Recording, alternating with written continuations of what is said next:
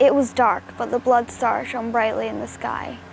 In three nights would be the alignment, the first time in a hundred years that the stars of being would align and magic would have no boundaries or limits.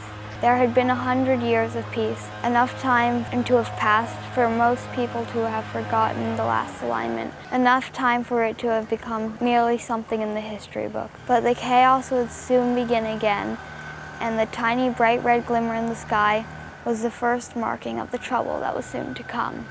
Far below the stars, a little abandoned wolf pup stared up at the full moon and whimpered as his empty belly rumbled. He forced down some leaves and lay down mournfully. Miles away, in a dark castle in the middle of nowhere, ere a sinister voice hissed from the shadows, I have waited so long for this day.